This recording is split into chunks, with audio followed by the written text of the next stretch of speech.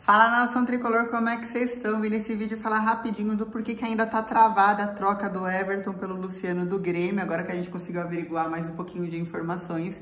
E então vou relembrar vocês um pouquinho de que, que envolvia essa troca, certo? O Everton iria para lá, pro Grêmio, em troca do Luciano, já tava tudo certo, tempo de contrato, os jogadores já tinham dado ok. E aí, anteontem à noite, hoje é quinta, na terça-feira à noite, as diretorias se ligaram e aí, putz, não, não deu certo. O que que não deu certo? Eu estava aqui pensando que pudesse ser bom. O São Paulo gastou 15 milhões no Everton em, por 100% dos direitos e ainda deve 5,5 milhões ao empresário que fez o empréstimo. Aí a gente vai descobrindo que sempre tem um empresário que fez o empréstimo, né? A gente vai vendo como que os negócios acontecem que é o Carlos Leite, se eu não me engano, ou é Carlos Filho, que entrou na Justiça contra o São Paulo, que ainda deve 5,5 milhões o São Paulo para esse Carlos.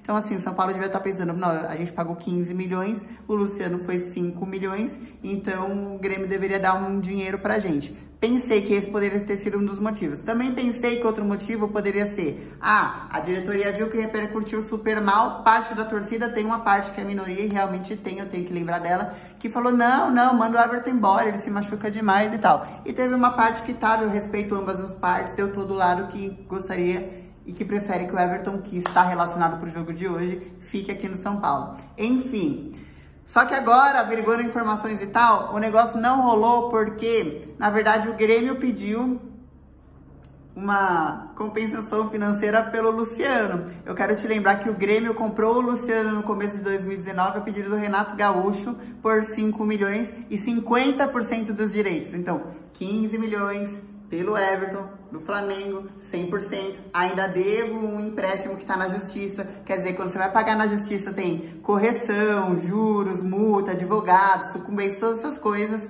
Você vai pagar muito mais que os 15 milhões no final das coisas, contas, né? E eu pensei que São Paulo ia ser esperto e falar, não, então tá, então me dá um dinheiro aí que eu devo ainda lá pro, pro empresário, alguma coisa assim. Não, na verdade é o Grêmio que, que tá falando, ó, dá, manda um dinheiro aí pelo Luciano. Não é pau a pau, não, essa troca. Porque o Luciano tem um ano a mais de tempo de contrato do que o Everton. Então o Grêmio quer uma compensação por causa disso. Vocês podem colocar aí embaixo as suas opiniões. A negociação não está completamente assim, morreu, não vai rolar e tal. Está travada. Quer dizer que uma diretoria foi lá e falou, ah, eu vou pensar. Aí pode ser que São Paulo pegue e mande um jogador em troca. Tipo, ah, toma o Everton e outro jogador e me traz o Luciano.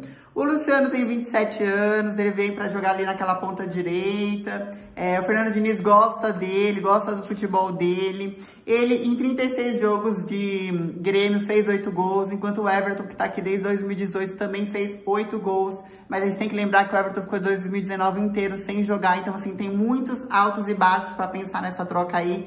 Porque um ficou muito tempo lesionado, mas agora que tava voltando de lesão e tava voltando a jogar aquele futebol que iludiu a gente em 2018, agora ele tá indo embora pro Grêmio e acho que faria história se fosse para lá. Por isso, eu manteria.